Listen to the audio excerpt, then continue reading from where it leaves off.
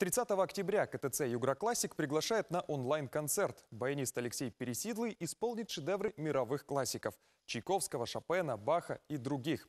Все подробности прямого эфира можно узнать на странице КТЦ «Югроклассик» во ВКонтакте.